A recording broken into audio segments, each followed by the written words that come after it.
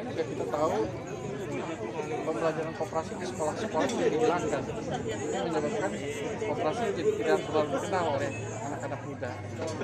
Nah ini sebuah tantangan, tapi tahu penting. Kalau saat ini 8 persen nggak apa-apa. Justru koperasi atau obat inilah yang harus kita kembangkan.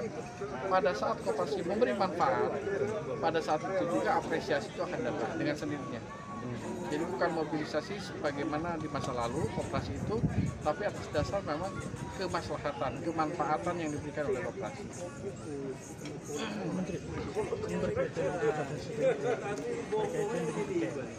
bantuan 2,4 Oh iya. Ini yang sudah disalurkan melalui bank penyalur. Kondisi yang terakhir di situ banyak pelaku yang itu menerima bukan ini, tapi uangnya belum masuk. Mereka baru terima kasus yang terjadi itu. Pak. Ya. Jadi saya kira eh, semalam saya kontak-kontakan dengan BRI. Ya, penyalur itu kan BRI dan eh, BNI. Nah, tapi banyak